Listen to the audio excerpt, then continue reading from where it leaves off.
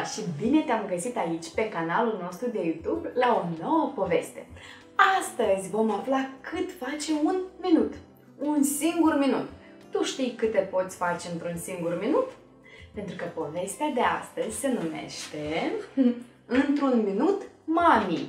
E despre un dinozaur care răspunde la toate întrebările că vine într-un singur minut. Dar reușește el să vină într-un singur minut sau nu? Haideți să aflăm chiar acum. V-ați făcut comod? Foarte bine! Haideți să aflăm povestea lui. Mămica era tare ocupată. Făcea plăcinte și biscuiți. Se pare că o să plouă, a spus ea. Te rog, Rory, vrei să aduci rufele în casă? Într-un minut, mami, a zis Rory. Era și el ocupat să mănânce o gustărică. 15 minute mai târziu a început ploaia. Hainele de pe sârmă erau ude loarcă. Oh, Flori! a spus mama supărată. Tata repara mașina în garaj. Te rog, Rory, vrei să te duci să-mi cumperi un ziar? a întrebat el. Într-un minut, a zis Rory. Era ocupat să se joace. Jumătate de oră mai târziu, Rory s-a dus la chioșc dar era deja închis. O, Rory, a bombănit atunci tata. Tina, surioara lui mai mare, își făcea temele. Te rog, Rory, vrei să închizi apa la baie? L-a rugat ea. Într-un minut, a zis Rory. Era ocupat să se uite la televizor. Zece minute mai târziu, baia era inundată. O, Rory! a strigat atunci Tina. Să vedem ce se întâmplă mai departe. În drum spre școală, Rory s-a oprit să se uite în vitrina unui magazin de jucării. Hai, i-a spus prietenul lui, Terry, o să întârziem! E doar un minut, a zis atunci Rory. Era ocupat să se uite la jucării. Când au ajuns la școală, învățătoarea i-a certat pentru că au întârziat. E vina ta, Rory, a zis atunci Terry. Familia era îngrijorată de atitudinea lui Rory. Mereu amână ce are de făcut, a spus tata. Și mereu întârzie, a spus mama. E prea de tot, a fost de acord surioara lui mai mare, Tina au hotărât că trebuie să facă ceva. În ziua următoare, lui Rory era foame după ce jucase fotbal toată după amiaza. Poți să-mi faci un sandwich, mami?" a strigat el. Într-un minut, a zis mama și a continuat să se uite la televizor. Rory a rămas flămând până la cină. Rory a vrut să se ducă să se plimbe cu bicicleta cu prietenii lui, dar bicicleta lui avea o roată dezumflată. Poți să mi-o repar, tati?" a întrebat el. Într-un minut?" a zis tata. Și a continuat să-și citească ziarul foarte atent. Rory s-a bosunflat când prietenii lui au plecat fără el. Cioc, cioc, cioc! Rory avea nevoie la toaletă, dar Tina era în baie. Vrei să ieși? a strigat Rory. Într-un minut, a zis Tina, dar a continuat să cânte sub duș. Rory a trebuit să stea cu, picio- cu picioarele încrucișate foarte multă vreme. Mami, toată lumea mă face să aștept, s-a plâns Rory mămicăi lui. Acum știi și tu cum e, i-a răspuns mama. Mama s-a gândit că ar fi util să-i cumpere lui Rory un ceas. Rory se uita cum merge secundarul. Tic, tac, tic, tac. Hai și voi. Tic, tac, tic, tac. Uite așa merge secundarul, da?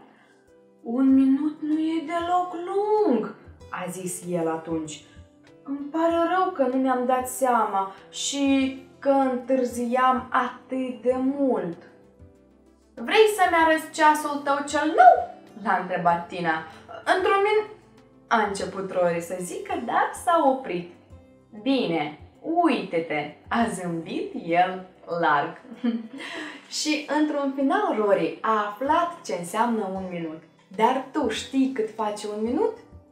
Eu îți recomand să mergi chiar acum la mami sau la tati sau surioara mai mare sau fratele mai mare sau bunica, bunelul și să îi rogi să-ți arate și ție ce înseamnă un ceas, care sunt um, acele ceasornicului și fiecare din ele ce presupune. Eu am să aștept cu mare nerăbdare să îmi scrii la comentarii dacă povestea de astăzi ți-a plăcut și dacă deja te isprăvești cu ceasul și noțiunea de timp. Eu, Clownela, te pup, te îmbrățișez și te aștept cu mare drag la o nouă poveste. Pa, pa!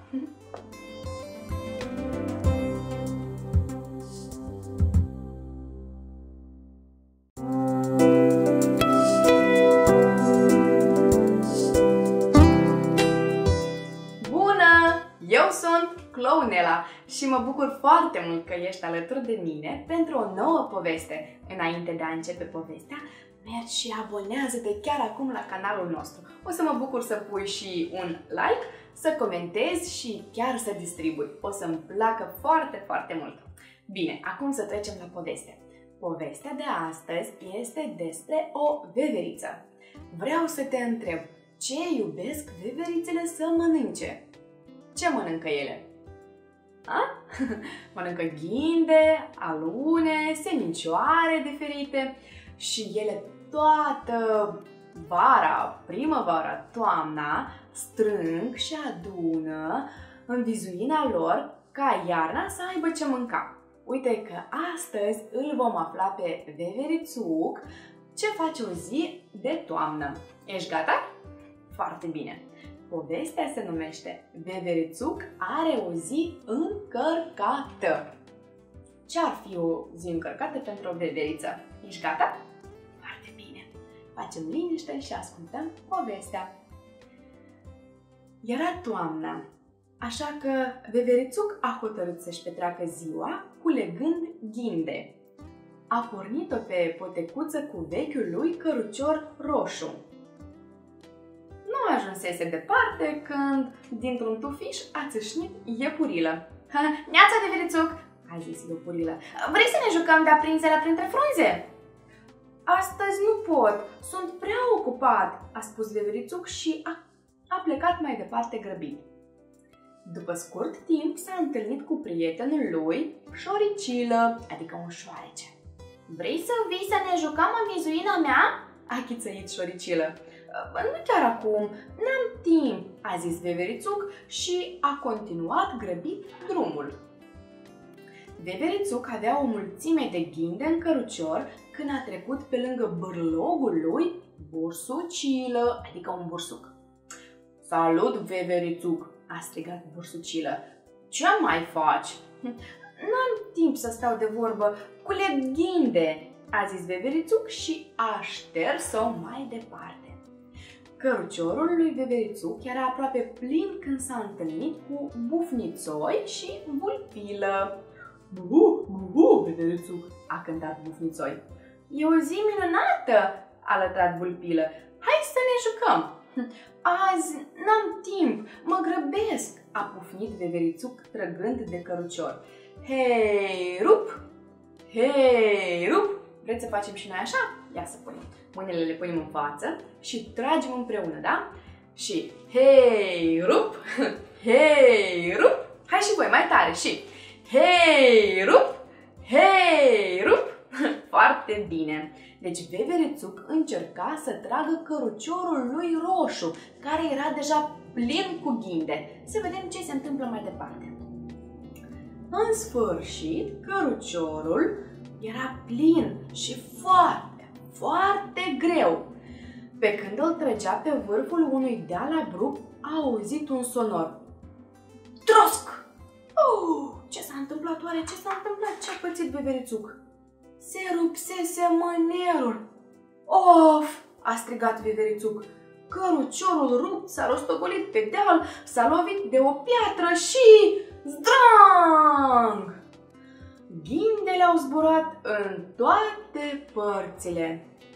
Chiar atunci, frunzele din spatele lui Veverițuc au foșnit.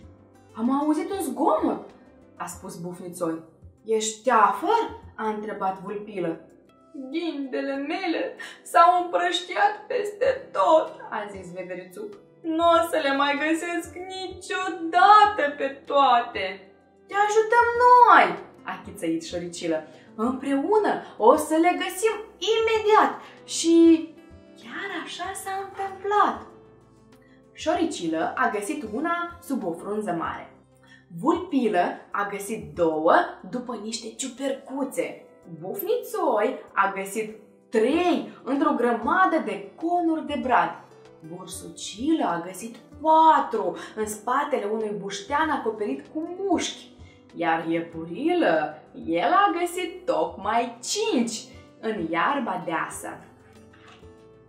Animalele au pus toate ghindele în cărucior, iar Veverițuc acum era foarte fericit. Apoi l-au ajutat pe Veverițuc să împingă căruciorul până acasă, pentru că nu mai avea mâner.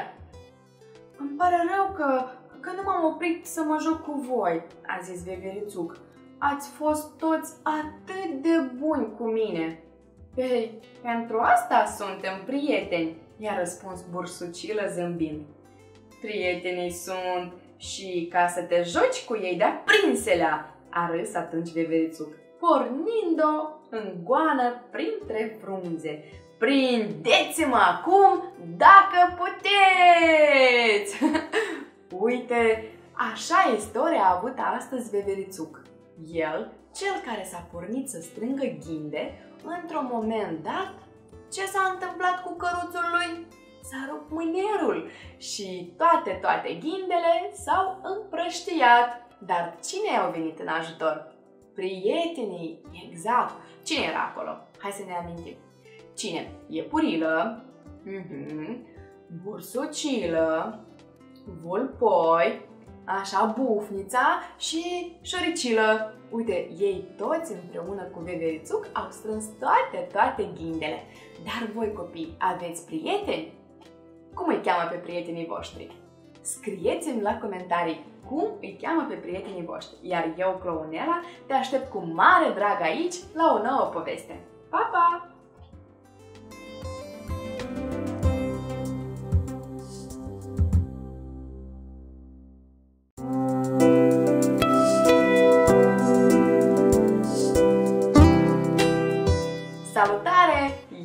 Sunt Clownela și bine te-am găsit pe canalul nostru la o nouă poveste. Astăzi îl vom descoperi pe un elefanțel care își caută meseria perfectă. Tu știi ce înseamnă o meserie sau un job, o slujbă, muncă? Știi ce e asta? Eu zic, facem în felul următor. Mai întâi citim povestea, după care discutăm. Ești gata? Foarte bine. Hai să ascultăm povestea. Elefanțica Elsie voia să-și găsească o slujbă, așa că s-a dus la mama ei să-i ceară un sfat. Ce-ți place să faci?" a întrebat-o mama cu blândețe. Păi... Um... Elsie s-a gândit o clipă, apoi a fluturat din urechi. Să mănânc! a zis Elsie. Bun, asta e un început. Ce-ar fi să te faci bucătar a zis mama. Așa că Elsie s-a dus la ghereta de gustări a zebrei și a dat toată silința să amestece, să frământe și să coacă la fel cum făceau ceilalți bucătari. Au făcut brioșe, băuturi spumoase și tot felul de alte bunătăți. Totul arăta atât de gustos că Elsie pur și simplu nu s-a putut abține. A păpat tot, tot, tot. Afară! Afară! au strigat ceilalți bucătari. Asta nu e o meserie pentru un elefant. Amărâtă Elsie s-a întors acasă. Mami a consolat-o și i-a spus Ia să vedem, ești foarte bună la trompetă, ce-ar fi să te faci muzician? Așa că Elsie a intrat în formația de peruși piccolo. Păsările scoteau ciripituri și triluri încântătoare. Elsie și-a ridicat trompa și a scos un sonor Vai, prea tare! Asta nu e o meserie pentru un elefant! S-au plâns atunci păsările. Și Elsie s-a întors din nou tristă acasă. Nici muzician nu putea fi.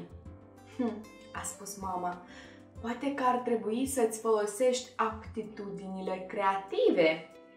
Îmi place să fac lucruri, a zis atunci Elsie. Splendid! Poate ai vrea să te faci artistă, a răspuns mama. Și a trimis-o pe Elsie la atelierul de ceramică al maestrului Flamingo. Înăuntru, Flamingo învârtea oale și castroane minunate pe roata lui de olar. Să vedem dacă se face cumva olar. Pare amuzant, s-a gândit Elsie. A început să dea formă să netezească și să învârtească lutul până când... Au, vai! Și apoi zdrang! Urechile lui Elsie au dat jos un raft întreg cu oale. Of, doamne, asta nu e meserie pentru un elefant, a zis atunci Flamingo. Acasă Elsie a început să plângă. Mănânc prea mult, sunt prea zgomotoasă și neîntemânatică. Nu o să fiu niciodată bună de nimic, suspina ea. Prostii, a zis mama. Hai să ne gândim. Ai forță, ai o trompă puternică și îți place să ajuți oamenii. Sunt sigură că există o meserie perfectă pentru tine. Deodată au auzit un vaet cumplit. Ajutor! Ajutor! Foc! Foc! Ghereta cu gustări a zebrei luase foc. Animalele fugeau în toate părțile. Lui Elsie a venit o idee. A alergat cât de repede a putut până la baltă. A tras apă pe trompă și a stropit ghereta de gustări până a stins focul. Elsie, ai reușit! Ai reușit! Au strigat animalele recunoscătoare. Elsie a zâmbit larg. Devenise pompier. Toată lumea a fost de acord. Chiar era meseria perfectă pentru un elefant. Uite așa! Deci, Elsia noastră, elefanțica, s-a făcut pompier. Ce face un pompier? Atunci când avem un incendiu, un foc vine cu o mașină specială și cu multă apă și spumă și ce face? Uite, luăm și noi așa jeturi cu apă sau cu spumă și facem stropim și stingem incendiul. Astfel salvăm oamenii și salvăm clădirea. Eu, Clounela, te pup și te aștept la o nouă întâlnire. Pa, pa!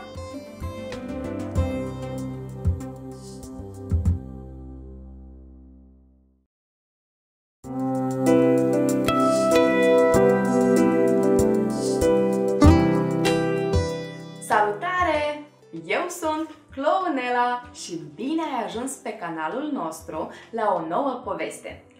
Astăzi vom vorbi despre câini, mai ales despre câinele din această poveste pe care îl cheamă Fergus. Vreau să te întreb, tu ai un câine acasă? Un cățel? Hmm? Cine are un cățeluș? Vreau să-mi scrii la comentarii cum îl cheamă pe cățelușul tău sau dacă ai o pisică, cum o cheamă pe pisica ta sau dacă ai un alt animal de companie.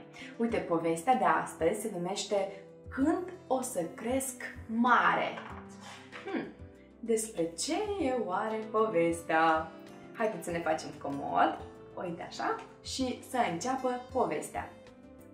Fergus, așa îl cheamă pe cățelușul nostru, își făcea toaleta de dimineață.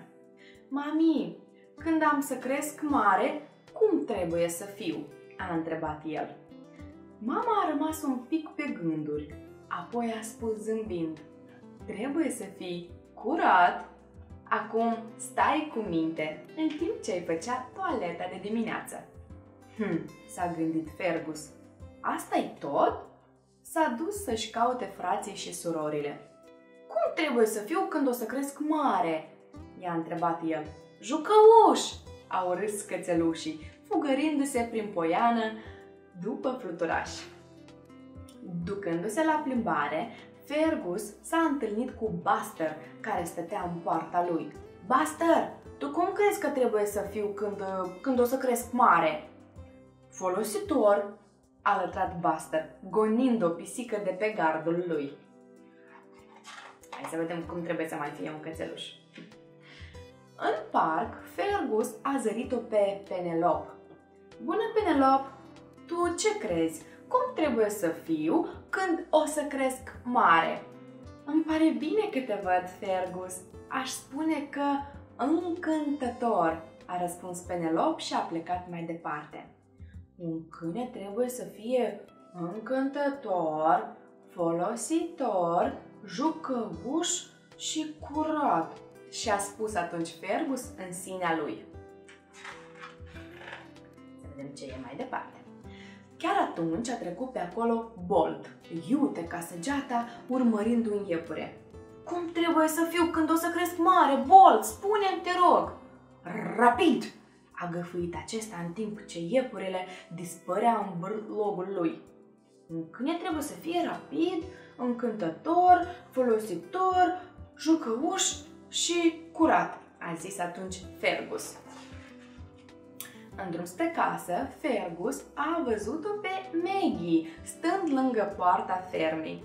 Bună, Maggie! Tu cum crezi că trebuie să fiu când o să cresc mare?" a întrebat-o atunci el. Ascultător, a spus ea, grăbindu-se să răspundă la fluieratul fermierului. Aha, a recapitulat Fergus. Un câine trebuie să fie ascultător, trebuie să fie rapid, trebuie să fie încă cum copii? Încântător, i-a spus uh, Penelop, folositor, jucăuș și mami a zis cum să fie. Curat, exact! Când aproape ajunsese acasă, i-a ieșit în întâmpinare prietenul lui, Jester. Bună, Jester! Am tot încercat să aflu cum să fiu când o să cresc mare. Tu ce crezi? Prietenos, a spus Jester și au dat din coadă unul altuia. Ce interesant este! Mama îl aștepta. Pare un pic îngrijorat, Fergus. Ce s-a întâmplat? Am întrebat pe toată lumea cum ar trebui să fiu când o să cresc mare, a zis el, și fiecare mi-a dat un alt răspuns. Trebuie să fiu prietenos, ascultător, rapid, încântător, folositor, jucăuș și, și curat. Chiar poate un câine să fie toate astea la un loc? S-a gândit atunci Fergus. E cam mult pentru un cățeluș, a spus ea, dar de fapt trebuie să fii doar iubit, i-a zis mama. Uite așa. Deci, dacă noi suntem iubiți, putem fi și ascultători, și prietenoși, și cum mai erau la noi acolo copiii, și jucăuși, da? Uite, asta avem noi nevoie. Acum, ca să simțim iubirea, mergeți la mami sau la tati sau eu aș zice chiar și la surioara sau la frățiorul vostru, dați-le o îmbrățișare și spuneți-le cât de mult te iubiți și apreciați. Eu, Clownela, te pup, dar stai, înainte de a pleca, te rog frumos, abonează-te, pune un like și dacă ți-a plăcut povestea, o să mă bucur să faci distribuire! Pa, pa!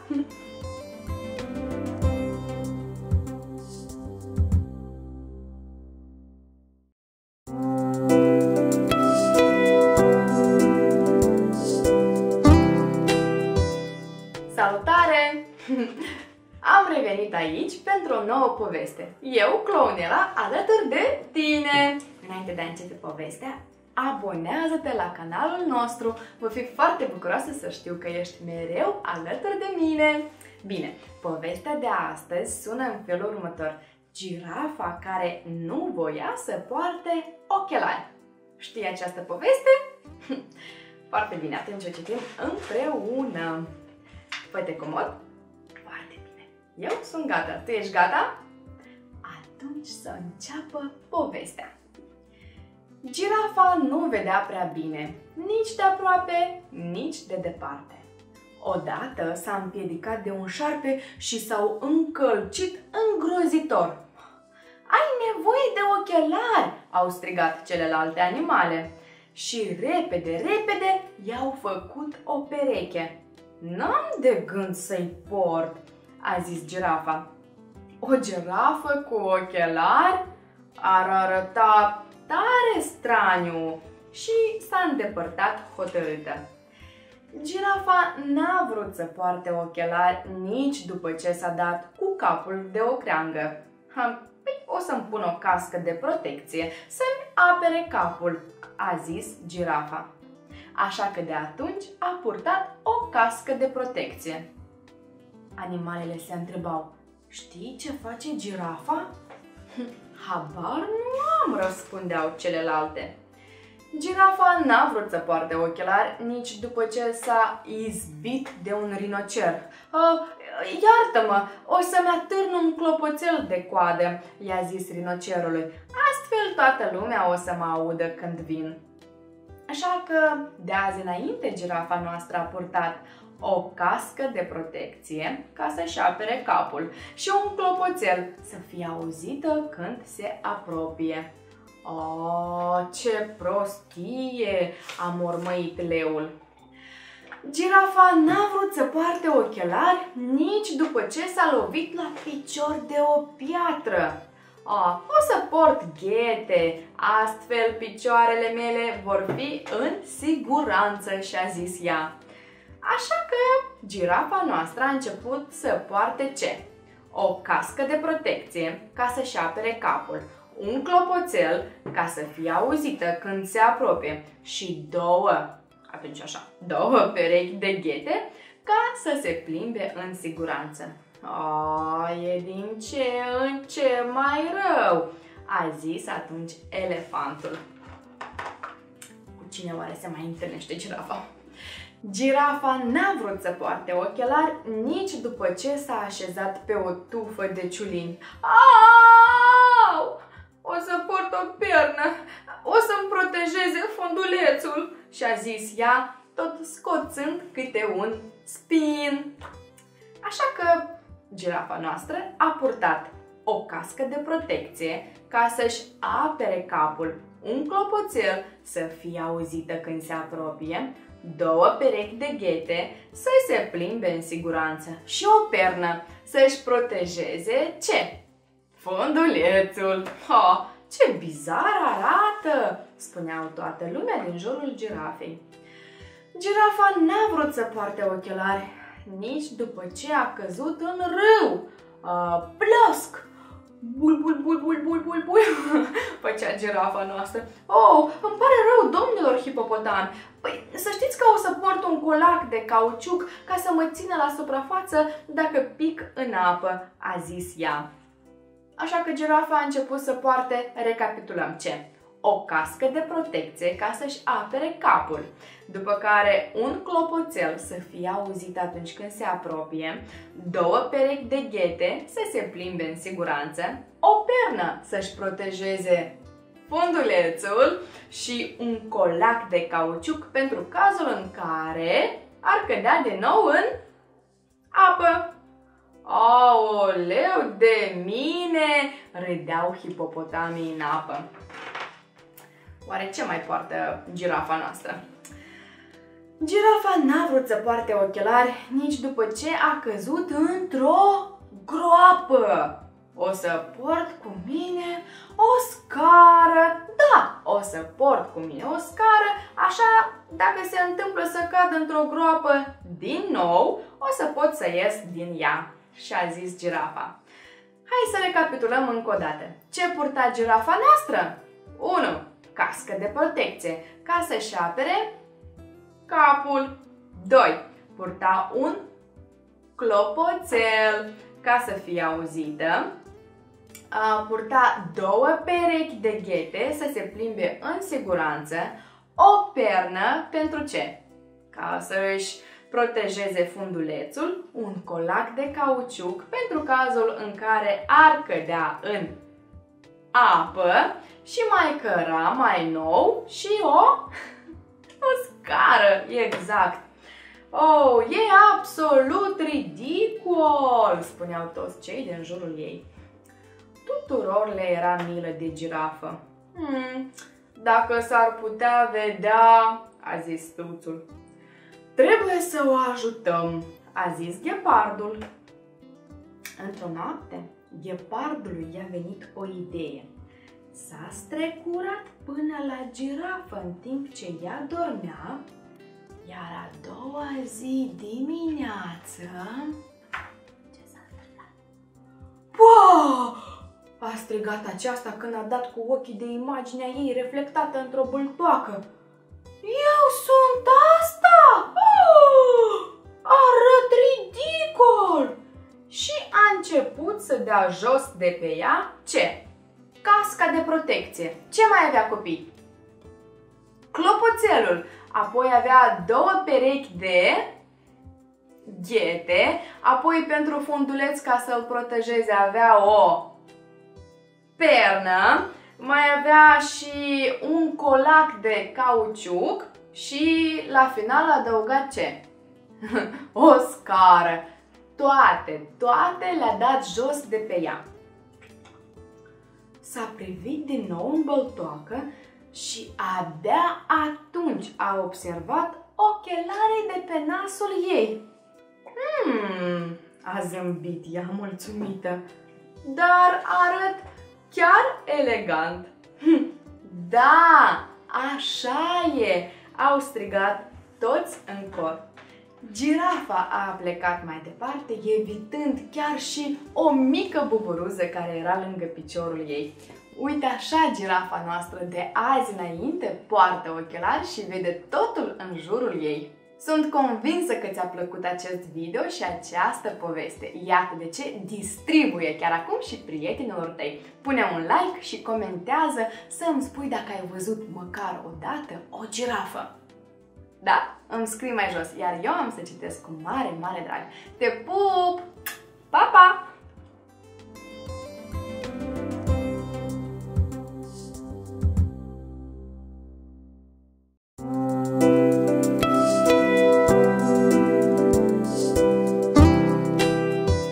Salutare! Eu sunt Clownela și bine te-am regăsit pe canalul nostru la o nouă poveste. Înainte de a începe povestea, abonează-te chiar acum, pune like și distribuie acest video.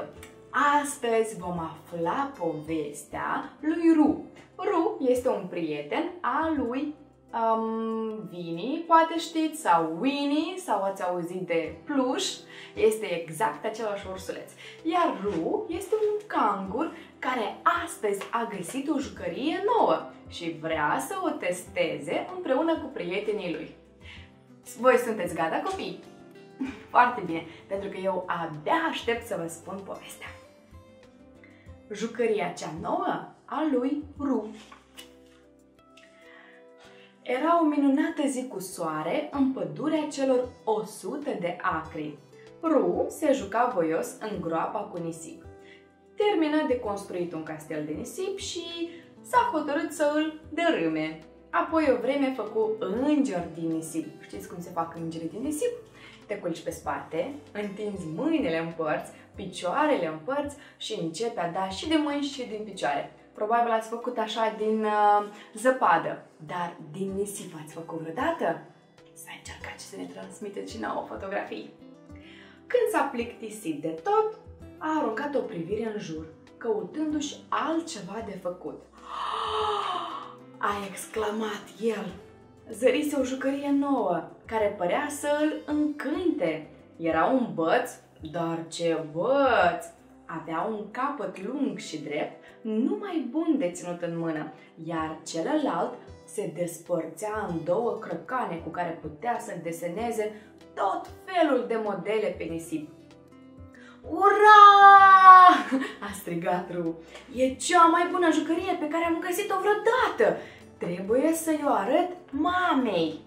Micuțul cangur țopăi grăbit spre casă, unde Kanga amesteca în oala cu mâncare.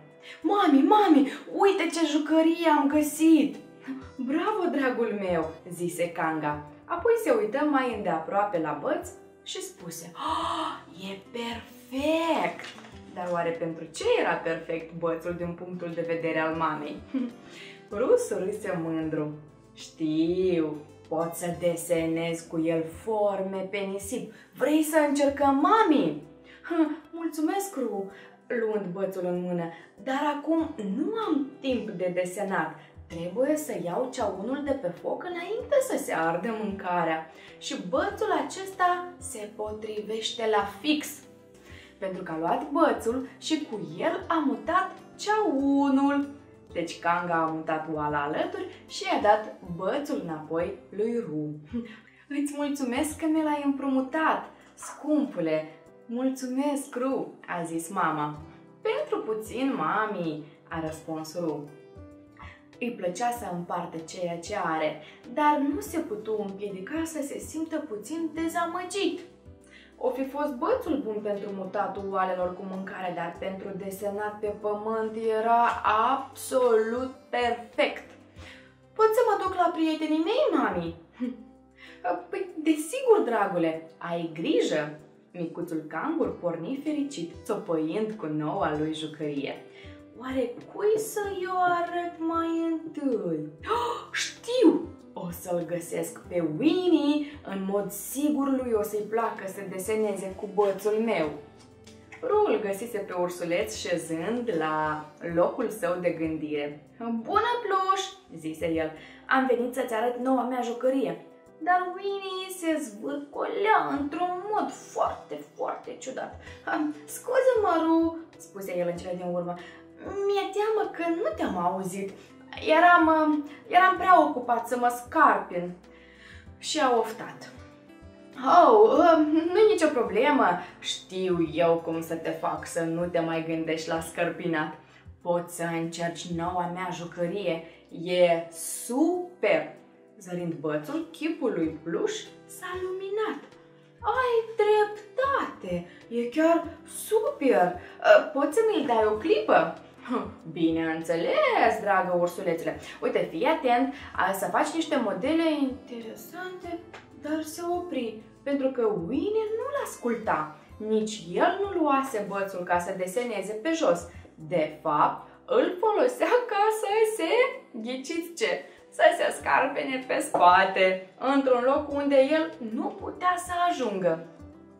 Aaaa, zise Pluș, mă simt mult mai bine. Uh, mulțumesc, Ru. Ha, pen, pentru puțin, spuse puiul de cangur recuperându-și bățul. Apoi oftă și porni mai departe. S-ar fi zis că Pluș nici nu observase cât de bun era bățul acesta pentru desenat tot felul de modele pe pământ. Ah, mergem mai departe să vedem cu cine se întâlnește de această dată. Ru hoinări prin pădure în căutarea vreunui alt prieten. Curând dădu peste Grohi, care își mătura frunzele din fața casei. Bună, Grohi, zise Ru. Uite, ai curățat aici un loc unde putem foarte bine să desenăm pe pământ.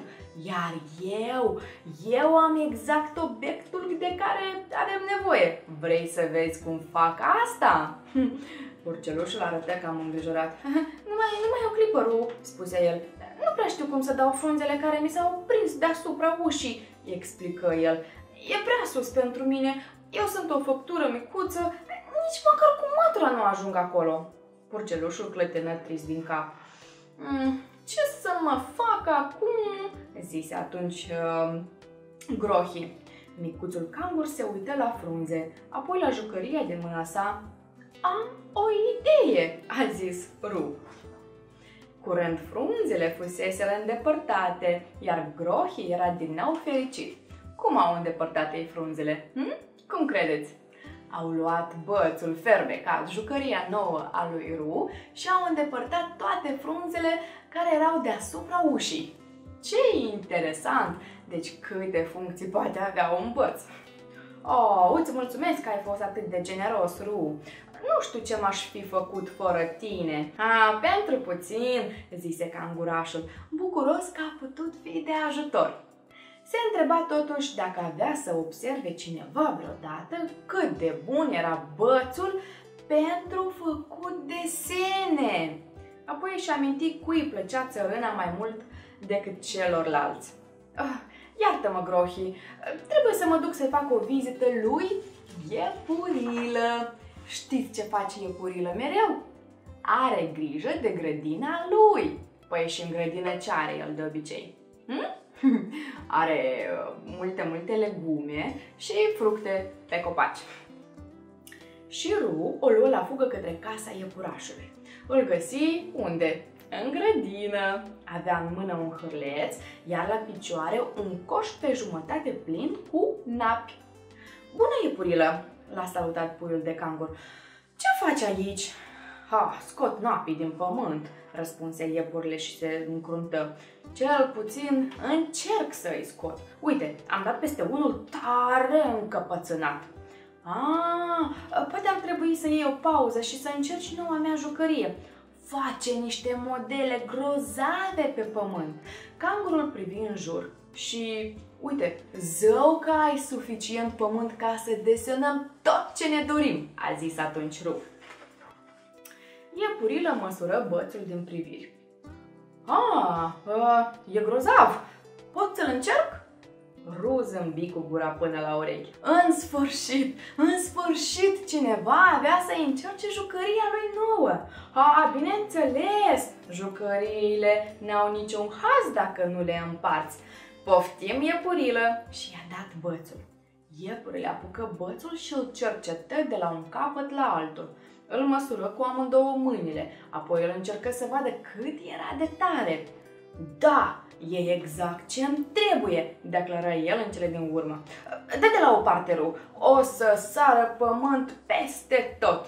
Și iepurilă înfipse bățul în stratul cu napi.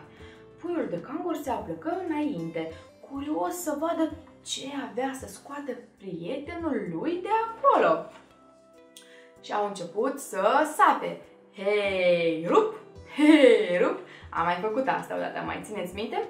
Ce vom face noi acum? Ne imaginăm că avem, avem și noi un băț în mână, da? Îl uh, băgăm în pământ și spunem hei și când îl scoatem spunem rup și scoatem pământul afară, da? Hai, împreună și hei, rup, hei, rup, hei, rup. Uh, hai toată lumea, toți copiii. Deci ne-am imaginat un băț pe care îl ținem acum în mână, da? Și ne imaginăm că aici, în jurul nostru, e mult, mult, mult pământ.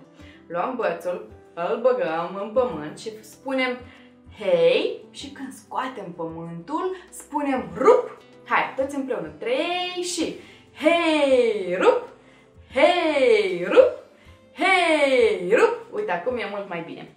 Așa striga iepurilă în timp ce scotea mai mult și mai mult pământ.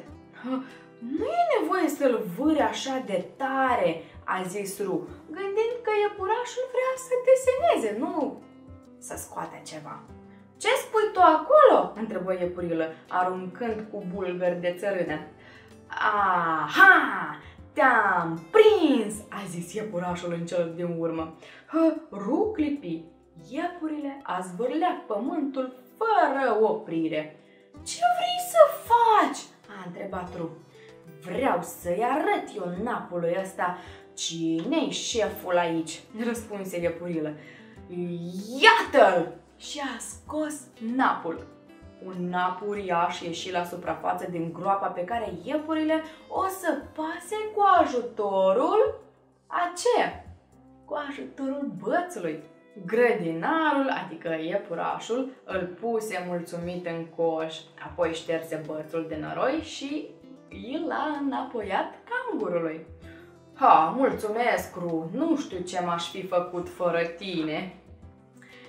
Pentru nimic, zise Ru.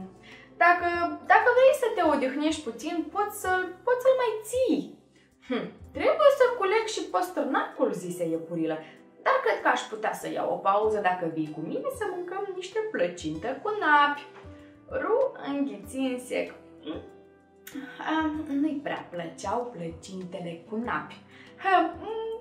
Mulțumesc, dar um, um, tocmai mă duceam să-i fac o vizită buhăi, adică bufniței. Destul de amărât, se grăbi să plece. De ce nu voia nimeni să deseneze pe jos cu noua lui jucărie? De fapt, poate n-ar fi fost rău să-i facă o vizită buhăi. La urma urmii, e cea mai înțeleaptă ființă din pădurea celor 100 de acri, s-a gândit Ru. N-am nicio îndoială că își va da seama cât de bun e bățul pentru a desena cu el pe pământ. Ru o găsi pe buhă plimbându-se cu pași mari prin bibliotecă. Oh, ce băț nimerit!" a exclamat ea. Adică, în timp ce a intrat Ru pe ușă, bufnița l-a văzut și imediat i-a făcut o remarcă. Oh, ce băț nimerit!" a spus ea. Poți să mi-l împrumuți o clipă?" Desigur, de, de a spus puiul de cangur și încercă să-i explice cât de ușor se putea face cu el modele și desene pe pământ. Dar buha îl folosea deja pe post de indicator ca să-i arate portretul uneia dintre rudele ei care era atârnat pe perete. O, vezi, e unchiul meu, îi spuse ea lui Ru. E cel despre care v-am povestit că a inventat peria de pene pentru șters praful. Trecură ore bune până ce buha puse în sfârșit bățul jos, pentru că i-a arătat fiecare portret de pe peretele ei. Scuze-mă, a spus atunci Ru, ar trebui să plec. Mama cred că mă caută. În cele de urmă, micuțul cangur scăpă din casa buhăi. De ce oare nimeni nu vrea să vadă cât e de bun bățul meu pentru desenat pe pământ? Chiar era bun, nu-i așa? Cufundat în gânduri, ajunse, fără să bage de seamă, în preajma căsuței lui Aiurel. Îl găsi pe măgăruș privind cu jale la o gaură din acoperiș. Bună, Aiurel, zise Ru, ce faci aici? Îmi fac o casă nouă, iarăși, iarăși îmi fac o casă nouă. Tu ce faci? Cangurul a început să vorbească. Am încercat să le arăt celorlalți noua mea jucărie, dar nimeni n-a vrut să deseneze cu ea pe pământ. Toți au avut nevoie de ea la alte treburi. Aiurel dădu din cap posomorât. Așa sunt uneori prietenii, mai ales când ai un băț bun și zdravă.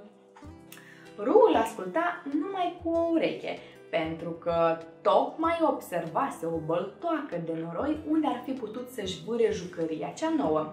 Dar măgărușul era obișnuit să nu fie luat în seamă, așa că îi dădu înainte, adică povestea în continuare.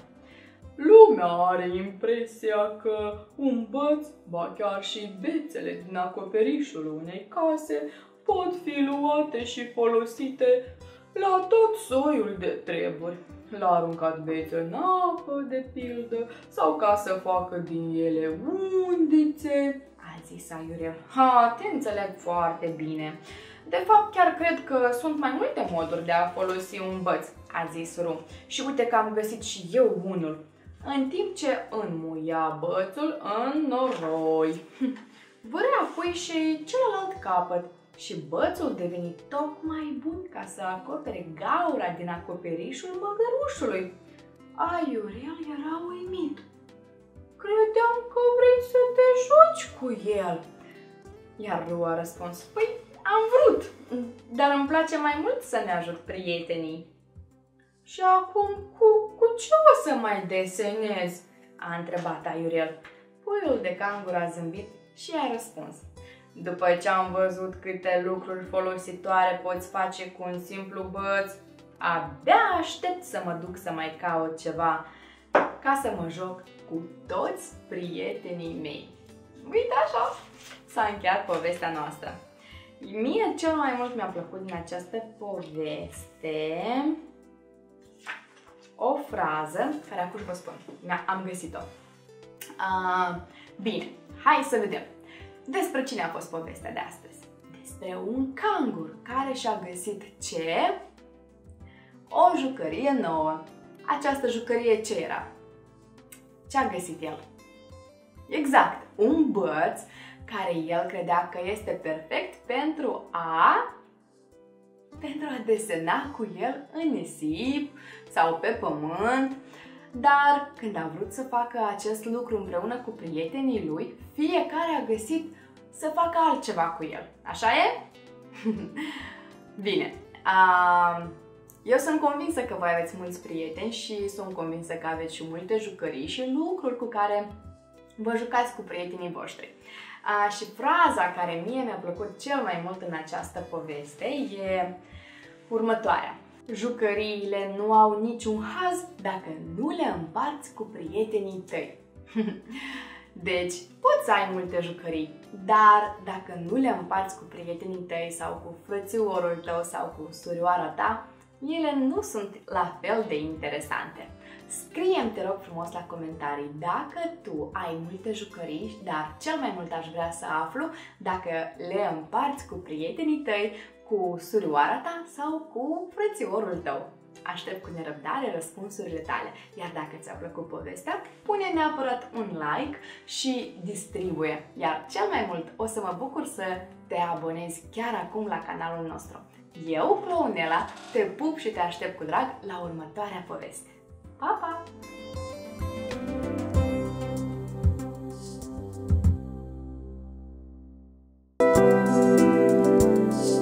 Salutare și bine te-am regăsit pe canalul nostru la o nouă poveste. Eu sunt Clownela. Dar tu, tu cine ești? Cum te cheamă? Scrie-mi la comentarii numele tău să fac cunoștință cu fiecare din voi. Abia aștept să aflu cum vă numiți. Astăzi vom afla povestea unui pui de rechin, un pui de rechin pe care o cheamă Rosalia. Ia să vedem, poate avem și vreo Rosalie printre voi. Uh, Rosalia e un pui de rechin care e un pic nepoliticos. Ce înseamnă a fi politicos?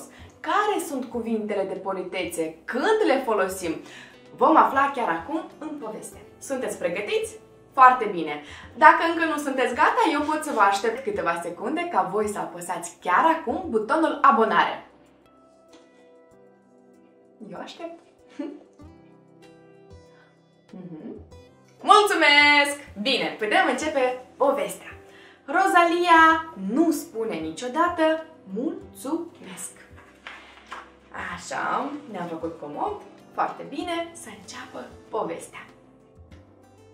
Rosalia este o fetiță care nu spune niciodată mulțumesc și nici vă rog.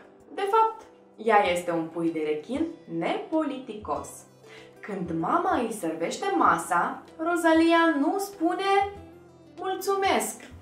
Când prietenii îi aruncă mingea în timp ce joacă volei submarin, ea nu spune mulțumesc. Nici chiar atunci când surioara ei, Lily, îi împrumută păpușa, ea nu spune mulțumesc. Totuși, mama sa a învățat-o că este foarte important să spună vă rog și mulțumesc. Dar Rosalia se întreabă mereu, pentru ce trebuie să fac asta? Ea consideră că este inutil. La urma urmii, nu sunt decât, decât niște cuvinte, se gândește Rosalia. La fiecare început de vară, satul submarin organizează o mare sărbătoare pentru a celebra sosirea anotimpului cald. Anotimpul cald e vara, corect. Dar ce e înainte de vară? Primăvara, anotimpul care îl avem și noi acum după geam. Iar după vară vine toamna, bravo, și după toamnă cel mai friguros anotimp este iarna. Uite că în orașul submarin vine anotimpul cel cald, anotimpul vara. Bravo! Ca de obicei, mama Rozaliei face cu acest prilej faimoasele prăjituri în formă de pește. Rozalia este foarte încântată. Mama chiar a rugat-o să o ajute. Ele își petrec ziua gătind împreună ceea ce le face o mare plăcere. Dar voi, copii, gătiți împreună cu părinții voștri? O ajutați pe mama? Ați făcut vreodată biscuiți cu mama? Să-mi scrieți la comentarii dacă ați făcut biscuiți, bine? Și poate vreodată mă serviți și pe mine cu biscuiți. De îndată ce toate dulciurile au fost coapte, mama Rozaliei pune glazură pe prima prăjitură. Rozalia, căreia îi este foame după ce a muncit atât, o ia imediat ca să o mănânce. Este foarte nerăbdătoare să o guste. Mmm, ce bună e! Mmm, ce delicioasă! Haideți și voi împreună cu mine, da? Ne imaginăm că am luat o prăjiturică am, și facem mmm, și voi mai tare și am mușcat și mmm, ce bună e! V-ați imaginat cât de bune erau prăjiturile Rozaliei? mama însă s-a supărat. Oare de ce s-a supărat mama? Rozalia! Prăjiturile sunt pentru sărbătoare, nu ca să fie mâncate acum. În plus, ai luat una fără să-mi ceri voie și fără să-mi mulțumești. Surprinsă, fetița se scuză în fața mamei, dar în sinea ei se întreabă la ce servește să spui vă rog și mulțumesc. Deci Rozalia a luat un biscuite fără să spună Mami, te rog! Și noi am luat biscuitele fără să rugăm să ne dea și nouă unul. Uh -oh. În ziua sărbătorii, întregul sat este împodobit, iar Rozalia și mama ei împart desertul la toată lumea. Rândul din fața mesei lor este imens, adică foarte mare, adică cea mai multă lume se află în fața mesei lor. Toată lumea vrea prăjiturile în formă de pește. Rozalia este foarte mândră să-și asiste mama și să o ajute la fiecare să îi dea câte un pește sau câte un biscuite în formă de pește. Deodată, un mic delfin se apropie de masă. Printr-o mișcare puternică a cozii, el înhață mai multe prăjituri și pleacă imediat, înotând foarte, foarte, foarte repede. Uh, hei, așteaptă! a strigat Rozalia. Micuța s-a enervat. Mama și ea au muncit foarte mult ca să pregătească toate prăjiturile, iar delfinul a plecat fără să le mulțumească. Ah, uitați-vă ce se întâmplă. Rozalia este foarte supărată că delfinul nu a spus mulțumesc. Toți ceilalți săteni le-au spus mulțumesc când au venit la masa lor și au servit câte un biscuite, iar acest delfin a luat prăjiturile, a plecat rapid, rapid și nici nu a spus mulțumesc. Câteva minute mai târziu, micul delfin se întoarce să le vadă. De ce pare se întoarce delfinul? Tata m-a făcut să-mi dau seama că adineauri nu v-am mulțumit. Îmi pare rău. Eram foarte grăbit să gust produsele voastre de patiserie. Sunt cele mai bune prăjituri din toată marea. Felicitări pentru voi două și mulțumesc, a zis delfinul. Ah, iată de ce s-a întors delfinul. Rozalia înțelege atunci că este important să spui vă rog și mulțumesc. Vezi ce poate face un cuvânt? Îi amintește mama. E foarte important să fii politicos și adeseori tocmai acest lucru contează. Din ziua aceea, Rozalia nu uită niciodată să fie politicoasă și ca să-și amintească, se gândește iar la micul delfin, nerăbdător să mănânce prăjiturile în formă de pește. Uite așa! Rozalia de azi înainte e fetița politicoasă care cere frumos și ce spunem noi atunci când cerem ceva? Vă rog! Bravo! Și după ce primim, spunem mulțumesc! Uite așa! Dar voi, voi sunteți copii politicoși? Sunt convinsă că sunteți copii politicoși. Să vă zic un secret. Copiii politicoși apreciază munca altora și pun like, comentează și distribuie video. Și la fel se abonează. Abonează-te și tu chiar acum. Iar eu, Clownela, te pup și îți expedez multe, multe îmbrățișări de iubire. Mua!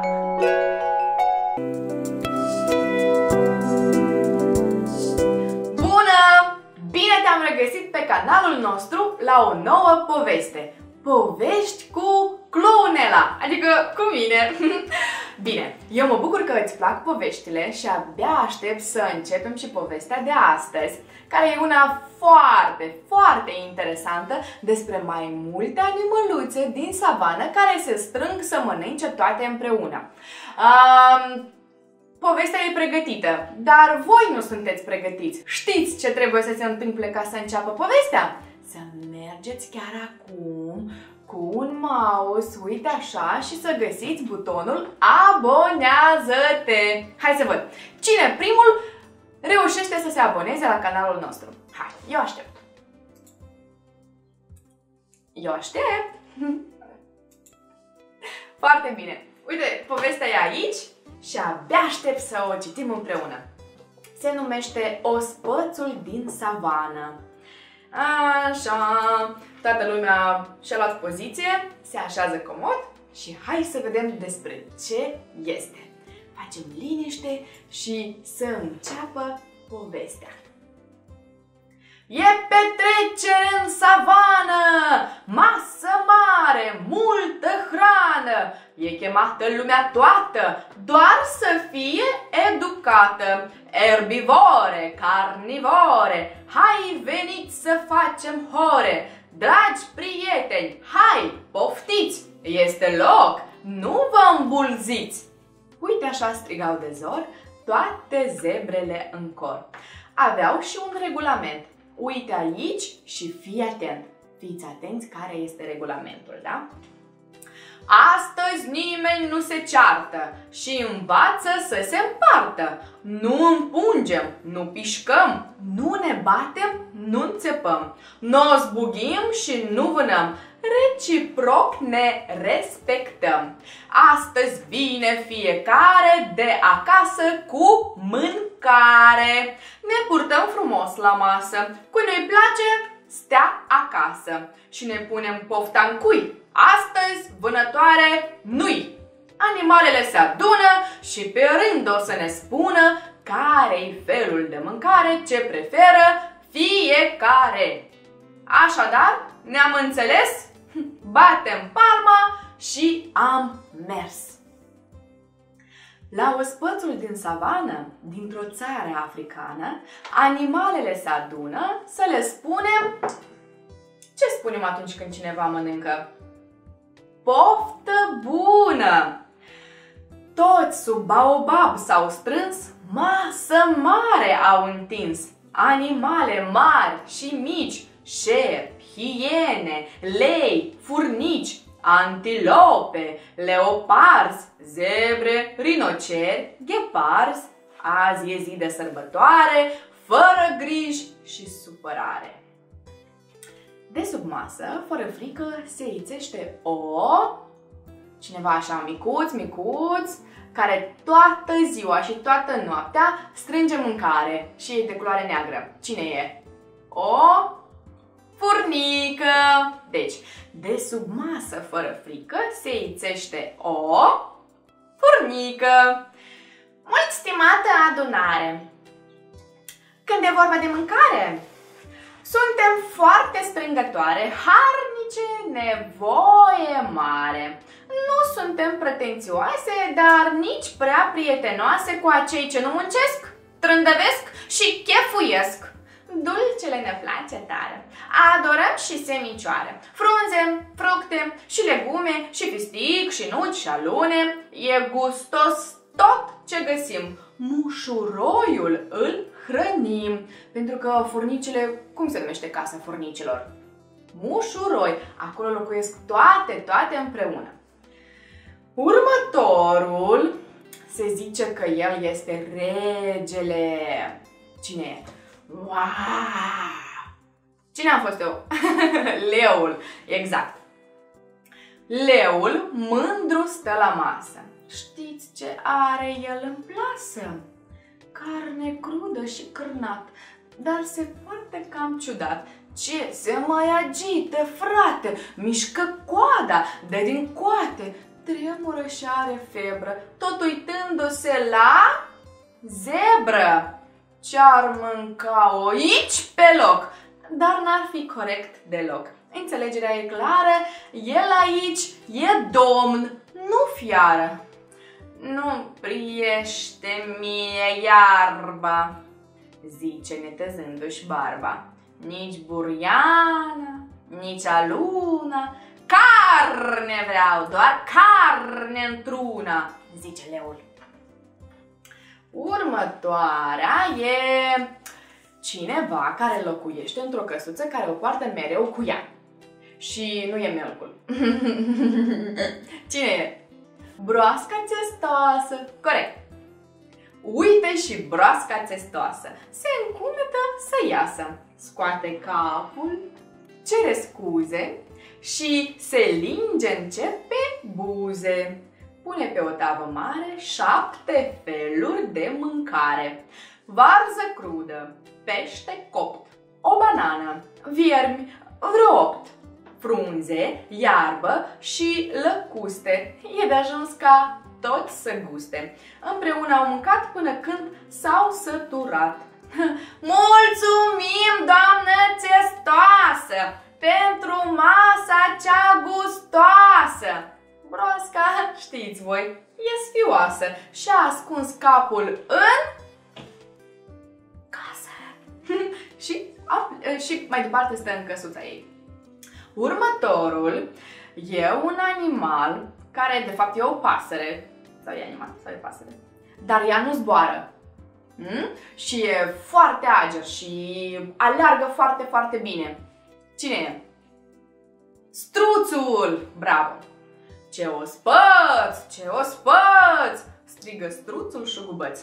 Am întârziat puțin la acest frumos festin.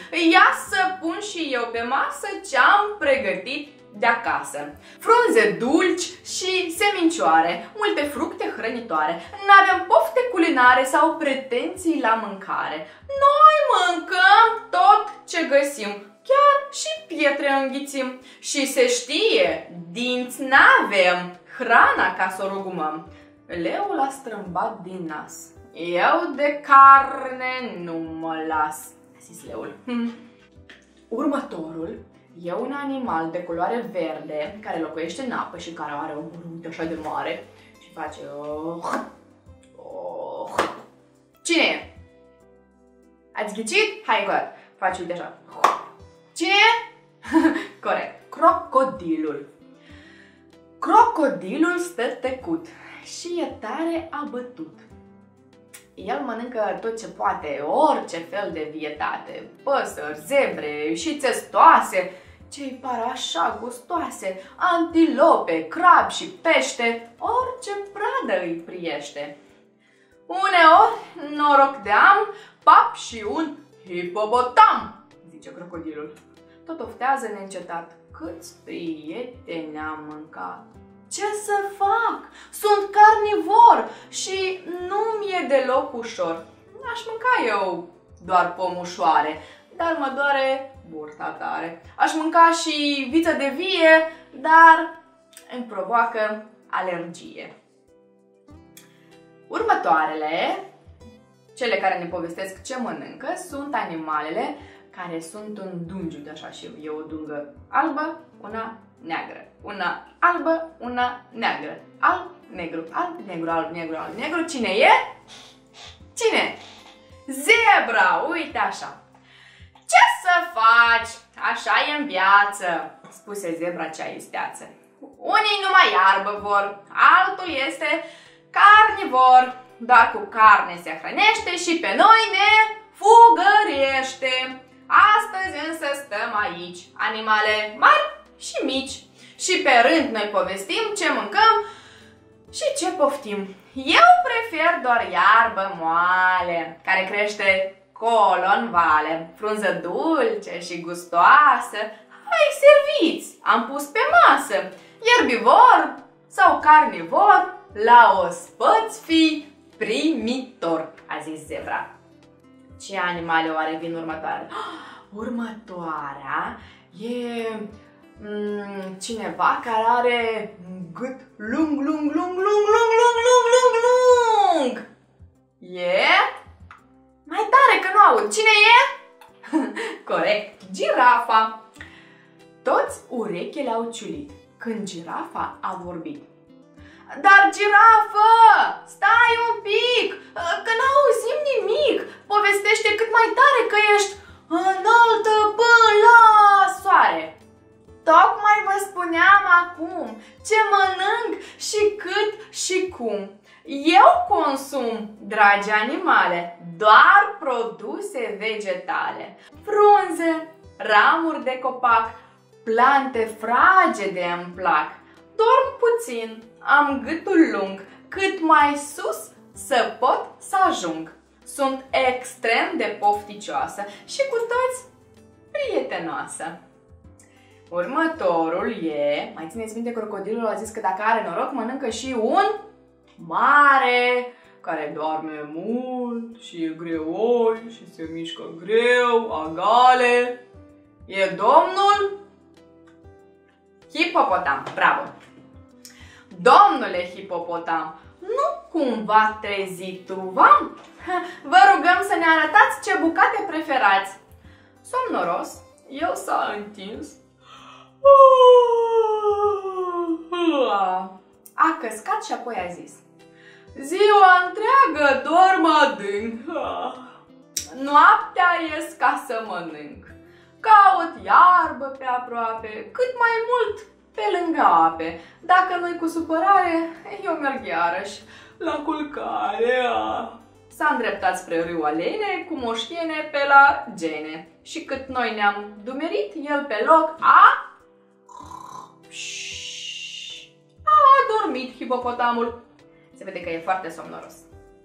Următorul e animalul care are o trompă și care ia apă, uite așa, și stropește. Cine e? Elefantul!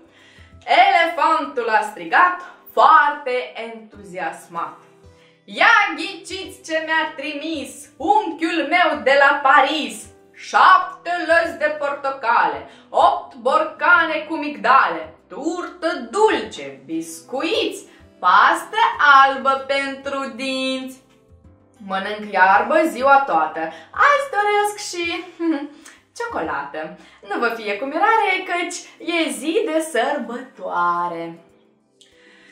Multe mai erau bucate. Au cinat pe săturate. În savană adunați, ieri dușmani, dar astăzi frați. Au mai stat nițel la sfat, au dansat și s-au distrat Uite luna acolo în zare. Este vremea de culcare. Elefantul s-a sculat și din trompă a sunat. Dragii mei, v-am anunțat că ospățul s-a încheiat, a zis elefantul. Rămas bun cât și-au luat, în savană s-a înnoptat și au plecat cu toți acasă, după cina cea gustoasă. Acum știți copii isteți, hrana multor dietăți. Voi acasă, ce mâncați? Ce bucate preferați? Este ora de dormit, iar povestea s-a sfârșit. Și acum, cu mic și mare, hai, fuguța la culcare! Noapte bună, vietăți! Somn ușor, copii isteți! Eu, Clounela, mă bucur că ai fost cu mine până aici și ca să păstrăm legătura mai departe, zic să îmi scrii la comentarii care este mâncarea ta preferată. Ce iubești tu cel mai mult să mănânci? Iar noi, ca să păstrăm legătura în continuare, zic să îmi scrii la comentarii care este mâncarea ta preferată. Da? Iar eu o să mă bucur să te revăd aici și mâine și poi mâine și în fiecare zi aici pe canalul nostru. Dar ca să știi când apare următorul video și următoarea noastră poveste, abonează-te chiar acum. Pune un like dacă ți-a plăcut și comentează neapărat. Ah da, și distribuie și prietenilor tăi. Iar eu, Clounela, te pup și te îmbrățișez. Te aștept cu mare drag la următoarea poveste cu Clounela.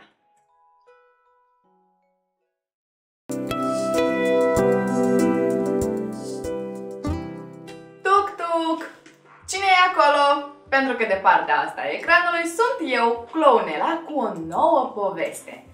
Da, am pregătit povestea și e una plină de pufoșenie și e tare drăgălașă și e plină de îmbrățișări. Cui plac îmbrățișările? Ia să vedem cui plac îmbrățișările. Îmbrățișați foarte repede pe cineva pe care aveți acum aproape de voi. De exemplu pe mama, sau pe tata, sau pe fratele, sau pe sora, bunica, bunelul, pisica, cățelul. Eu am să-l îmbrățișez pe prietenul meu ursuleț. Ursuleț, vino aici să ne îmbrățișăm și noi. Uite așa. Și voi? Vă îmbrățișați? Dacă nu aveți pe nimeni alături, luați o jucărie și îmbrățișați-o strâns, strâns, strâns, strâns, strâns. Iar eu, la tare am să mă bucur să vă dau îmbrățișări imediat după ce vă abonați la canalul nostru. Așa e, ursuleț? Hai să zicem. Abonați-vă chiar acum la canalul nostru ca să știți când vine următoarea poveste. Eu, ursuleț, vă pup și abia aștept să aflu povestea plină de îmbrățișări. Hai, ale, îi așteptăm până, pun, um, până apasă pe butonul abonează-te? Da? Hai să așteptăm. Numărăm împreună până la 10? Iar ei se abonează? Hai! 1, 2, 3, 4, 5, 6, ai uitat ce vine după 6? Ah, 7, 8, 9, 10. Cred că s-au abonat, așa e? Tu, tu unde o să stai? Stai aici lângă mine? Bine. Și ascultă atent povestea. Și voi, așezați-vă comod și haideți să vedem despre ce este povestea de astăzi, pentru că se numește Îmbrățișează-mă! Dis de dimineață, pe măsură ce soarele se ridica deasupra grădinii zoologice, animalele începeau să se trezească din somn. Toate în afară de Bu, lorisul. Ca toți lorișii, Bu dormea pe timpul zilei, așa că dimineața de-abia se pregătea de ah, culcare. Dar unde era mămica lui? Bu nu putea să adormă fără îmbrățișarea specială de nani bun a mămicii lui. Îngrijorat, Bu o căută din ochi pe mămica lui, dar nu o zări nicăieri. Așa că Bu îi făcuse o vizită leului. Am nevoie de o îmbrățișare, îl anunță Bu pe leu. Cu mare atenție, leul îl ridică pe Bu cu laba lui voinică și l-a îmbrățișat de mama focului. Oh, mulțumesc, leule, izbuti Bu să mai spună, dar puh, îmbrățișarea ta este uh, prea păroasă. Așa că Bu a mers mai departe și a întâlnit-o pe girafă. Am nevoie de o îmbrățișare! a strigat el în sus girafei. Girafa se opri din ce făcea își încolăci gâtul ei lung în jurul mijlocului lui Bu și îl îmbrățișă și îl ridică în aer în același timp. Oh, mulțumesc, girafo! înghiți în sec Bu, trăgând cu ochiul din înalt către pământ. Dar uh, îmbrățișarea ta este prea înaltă! Bu a coborât și a mers mai departe. Așa că Bu a mers să-l vadă pe pinguin. Am nevoie de o îmbrățișare, îl informă Bu pe pinguin. Pe dată, pinguinul își lăsă deoparte micul dejun, adică erau niște peștișori acolo, și a întins înotătoarele, trăgându-l la peptul lui pufos pe Bu. Ha, mulțumesc, pinguinule, se strâmbă Bu, ținându-și cu o mână de nas, dar îmbrățișarea ta este prea mirositoare, miroase a pește. Uh, îți mulțumesc, dar merg mai departe. Așa că Bu merse să-i ceară ajutorul canguriței. Am nevoie de o îmbrățișare, îi spuse când cangurița trecu în salturi pe lângă el. Fără să se oprească, cangurița îl ridică într-o clipită pe Bu din iarbă și îl ținu în brațe în timp ce sărea de colo-colo. Mulțumesc, cangurițo, gângăvi Bu în ritmul țopăielelor ei. Da, da, da, dar șarea ta e mult prea săltăreață. Atunci cangurița s-a oprit și l-a pus pe Bu jos pe pământ. Bu obosise și avea acum nevoie de o îmbrățișare de nani bun, mai mult ca oricând. Am nevoie de o îmbrățișare, i-a spus el papagalului. Papagalul continuă să cârâie. Își întinse aripile colorate în lături și îl prinse la pieptul lui cu pene înfoiate. Mulțumesc, papagalule, se plânse Bu, dar, văleu, îmbrățișarea ta este pur și simplu prea scomotoasă. Ce-ar fi să-l rog pe ursul polar, s-a gândit atunci Bu. Am nevoie de o îmbrățișare, oftă Bu când ursul polar își apropie chipul prietenos. Cu mare băgare de seamă, ursul polar își deschise brațele și îl îndesă pe Bu în blana lui albă și mătăsoasă. Mulțumesc, ursule, făcu Bu cu ochii chiorâși, dar îmbrățișarea ta este prea orbitoare pentru că ursul polar e foarte mare, iar Bu era foarte micuț. Ce avea să se facă săracul Bu? Era timpul să meargă la culcare și totuși nici urmă de mămica lui și nici pomeneală de o îmbrățișare de nane bun exact cum trebuie. S-a îmbrățișat cu elefantul, dar era o îmbrățișare prea zbârcită. S-a îmbrățișat și cu crocodilul, dar era o îmbrățișare prea colțuroasă. Cu șarpele s-a îmbrățișat, dar era o îmbrățișare foarte strânsă. Cu maimuțica s-a îmbrățișat, dar era prea gâdelicioasă. Cu gorila s-a îmbrățișat, dar era foarte largă îmbrățișarea. Și cu foca s-a îmbrățișat, dar pentru că foca iubește să stea mult în apă, îmbrățișarea era udă. Am nevoie de o îmbrățișare care e... care e... Și chiar atunci Bu simți niște brațe cunoscute, moi și călduroase, care îl învăluiau. Care e exact cum trebuie, a exclamat bucuros Bu. Dorm liniștit, Bu, îi spuse mămica lui în timp ce îi dădea cea mai iubitoare, cocolitoare și exact cum trebuie îmbrățișare de nani bun din lumea întreagă. Și Bu a adormit liniștit pentru că a găsit cea mai bună îmbrățișare. Eu știu care e îmbrățișarea voastră cea mai bună. Mergeți și voi acum și îi dați mamei o îmbrățișare, așa, pur și simplu. Și șoptiți-i la ureche, mami, te iubesc și îți mulțumesc. Eu îți mulțumesc că ai fost alături de mine și am să îți mulțumesc de o mie de ori dacă o să pui chiar acum like o să comentezi dacă ți-a plăcut povestea și dacă ai fost să îi dai mamei o îmbrățișare și să distribui și prietenilor tăi această poveste. Iar eu, Clownela, te aștept și mâine și poi mâine și în fiecare zi aici pe canalul nostru. Pa, pa!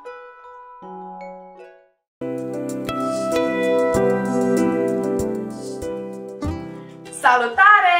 Eu sunt Clownela și tu ești alături de mine pentru o nouă poveste cu Clownela. Mă bucur că ești alături de mine și astăzi am pregătit ceva foarte delicios, dar nu singurică. Am pregătit împreună cu un ursuleț din povestea noastră, iar noi acum toți ne vom imagina că în fața noastră avem un platou plin, adică mai întâi mare și apoi plin cu prăjituri. Hmm? Dar, înainte de a începe să mâncăm aceste prăjituri imaginare, trebuie să mergi și să te abonezi. Chiar acum, acum, acum, acum, acum, acum, acum. Abonează-te! Mă auzi? Eu te aștept aici cu mințică și număr în gând până la 10. Nu, nu, nu, nu, nu în gând. Am să număr chiar așa până la 10 ca tu să te abonezi chiar acum. 1, 2, 3, 4, 5, 6, 7, 8. Te-ai abonat? Că e 9.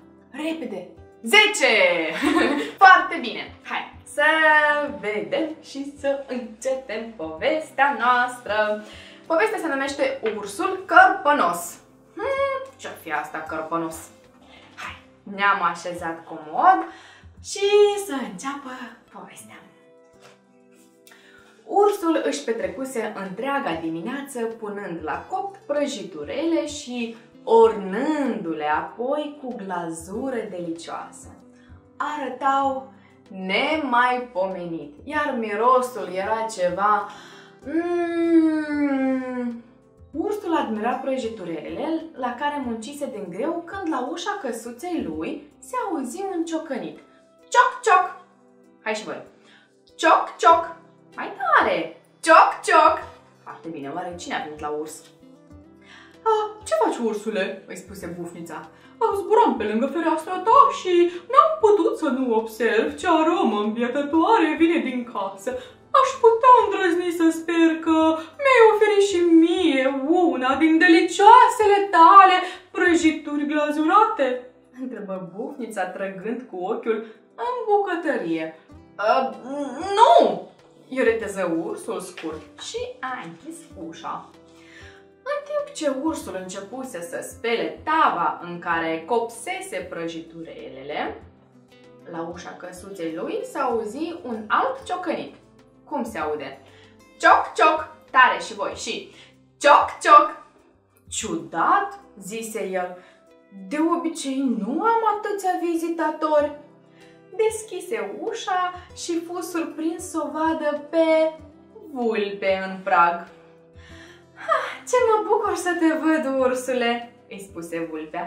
Treceam pe lângă fereastra ta și n-am putut să nu observ ce aromă amețitoare vine din casă.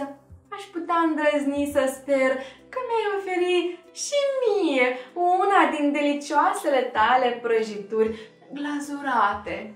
Susură vulpea uitându-se cu jind înăuntru la prăjiturile, evident. Nu! i-a spus ursul și a închis ușa. Ursul se întoarse la curățenia din bucătărie și aproape terminase când auzi un al, al câtelea ciocănit e asta. A fost bufnița, vulpea și acum e al, al treilea ciocănit la ușa căsuței lui. Cum a ciocănit? Cioc, cioc! Hai și voi și cioc, cioc! Bravo! Ha, salutare, ursule! Îi turuie iepurele. Țopăiam pe sub fereastra ta și n-am putut să nu observ ce aromă încântătoare vine din casă. Aș putea îndrăzni să sper că mi-ai oferit și mie una din delicioasele tale prăjituri glazurate? A spus iepurele pe nerăsuflate. Hmm.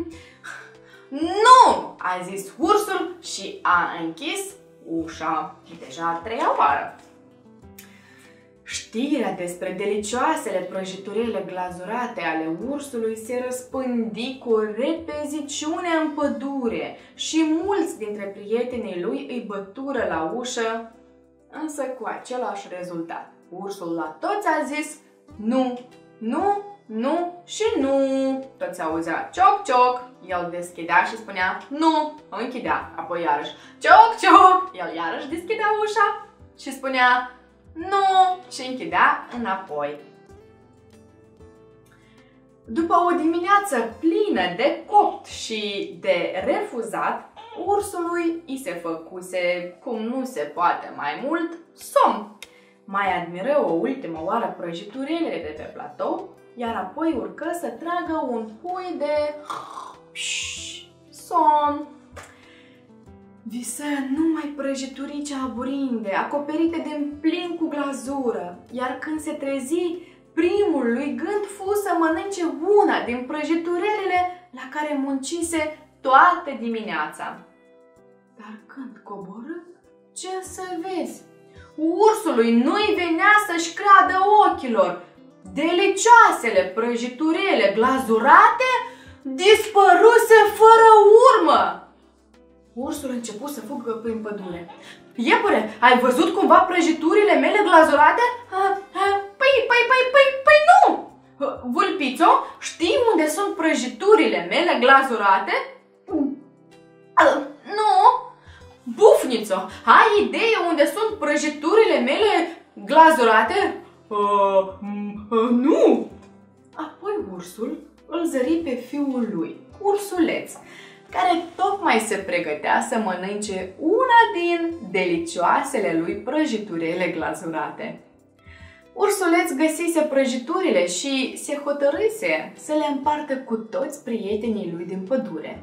Toate animalele din jurul lui îi zâmbeau timid, iar ursul își dădu brusc seama că erau fericite.